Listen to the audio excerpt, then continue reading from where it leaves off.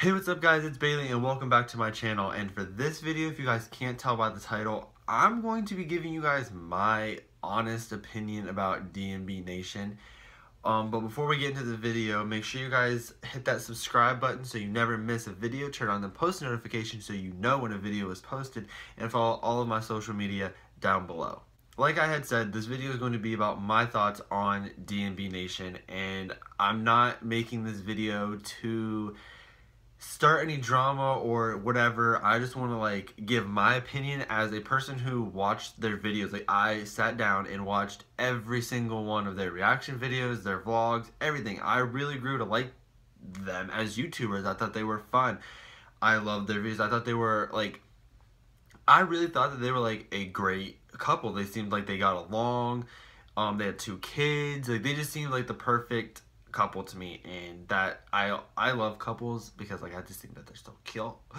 But with all the stuff that's been going on and I will state that I don't know anymore. I don't even know if it's worth me even subscribing to. I don't know if it's even worth me giving them my views because they get money for the views and the comments and the likes and everything. I don't know if it's worth me doing that anymore. Now, when Damien had posted the video of him kind of discussing like their breakup and he broke down and he cried and stuff, I really felt for the dude. I really did.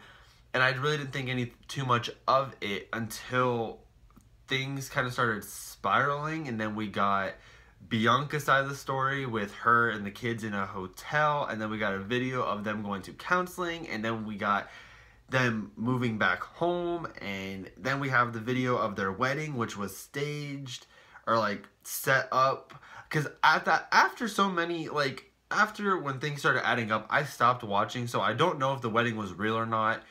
But like and then things just kind of started like still spiraling. Like then like uh they were like back together then they were married and like now they have a supposed hacker who I believe is their manager and the manager's daughter. Let me just say real quick that I'm I love reality TV shows, I love drama movies and everything, but I feel like this whole entire thing is complete bullshit.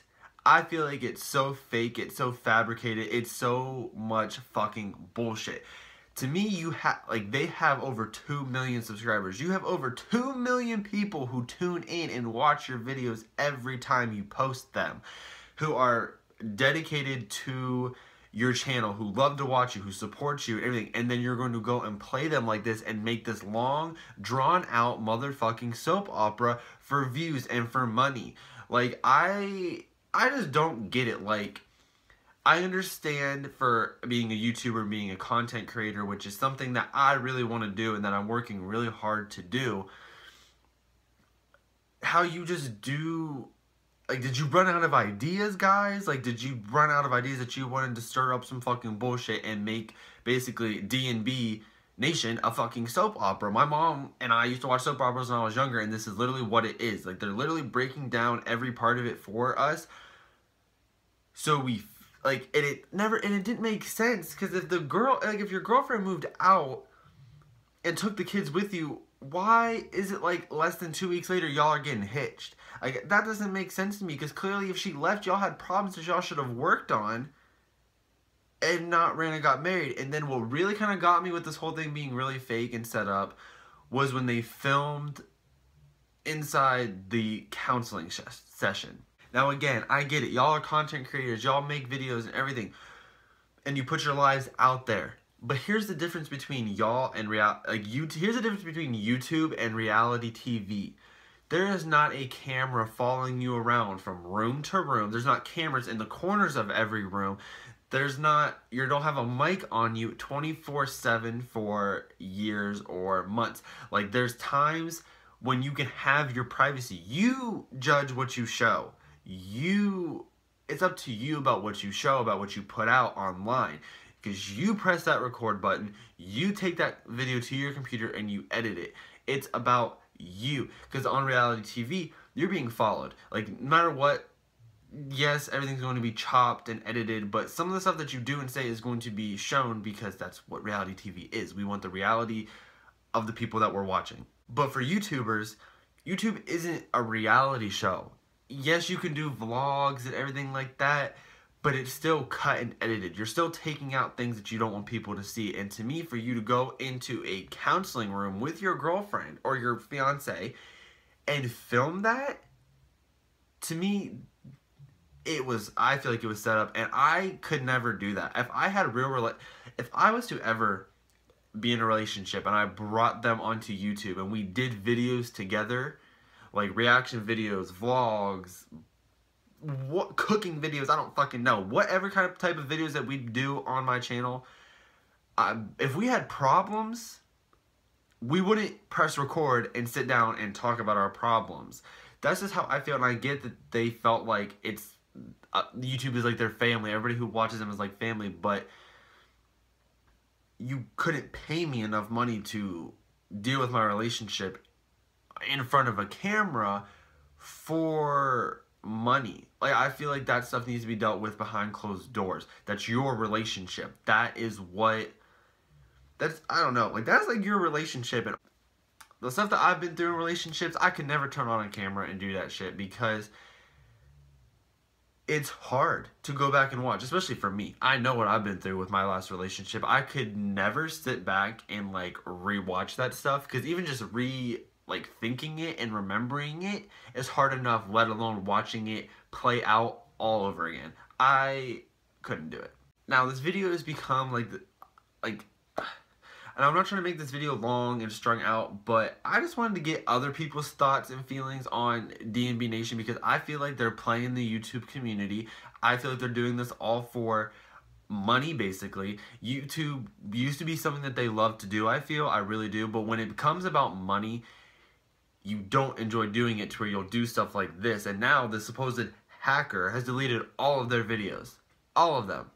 Best believe somebody was delete all my videos, if I had all the ones like they did, we scrapping, like we fighting, and I can't even fight, but we will do it because that's my time, my energy, and like something that I took time to do, and it's my hard work that you just deleted. So, clearly something is going on behind the scenes with Damien, Bianca, management, whatever. But like, I really think that their management though is doing a good job because I think with all this bullshit drama going on, they've gotten so many more subscribers, so many more views on the videos that you know used to be up and they're deleted now. But they've gotten so like they've gotten so much more like promotion and like, I mean, look at me. I'm sitting up here in front of a camera talking to y'all about them. And there's other YouTubers that have been doing it too. So we're all giving them free promotion basically. So basically, their management team, I need them on my side. I need to call this girl and be like, hey, can y'all come manage me? Because y'all know what the fuck you doing. Like, you getting them coins for Damien and Bianca. Now get me them coins. I need them. But basically, guys, long story short on my opinion of this is I really think that they are taking it way too far. It's become drawn out. It's over dramatic. And everybody is putting two and two together that this is fucking fake. And I don't know if like they really just wanted to end their YouTube career and this is the way that they're doing it, which to me that's fake and phony and that's bullshit. Y'all should set up on that camera like real ass people and said, we want to take a break or we're done doing this, blah, blah, blah, blah, blah. I just feel like they should have been real ass people and just decided to tell their subscribers what they were doing instead of making a soap opera out of it. But so if this is a way of ending their YouTube career or whatever, I'm over it. I'm sick of it and I feel like it's wrong. I feel like I don't know. I just feel like it's just like who like what possessed y'all to do this? Was it money? Was it like y'all wanted more subscribers or more views? Like I just don't I really just don't get it and to me they honestly lost a subscriber from me and somebody who viewed their videos because I don't think I will ever view them again because if they do try to come back from all of this, it's going to be very hard. Because, I mean, they still got people that support them. Don't get me wrong, they do. But there's also people who, like myself, were loyal subscribers and loyal viewers who don't give a fuck anymore and don't really give a shit because of the games that they've been playing. But I just want to give my opinion because I I enjoy doing YouTube. The videos that I make, I enjoy doing. and hopefully, you know, in like a few years, I have the 2 million subscribers that Damon and Bianca have. That'd be amazing. So, and I could never see myself sitting up here and doing what they're doing to all of their viewers and all of their subscribers.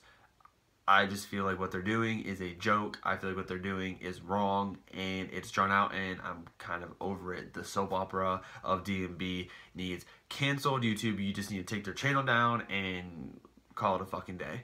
If you guys agreed with anything that I had to say in this video, please give this video a big thumbs up. And if this was your first time checking out my channel, make sure you guys hit that subscribe button because I like to do reaction videos and just a bunch of other stuff.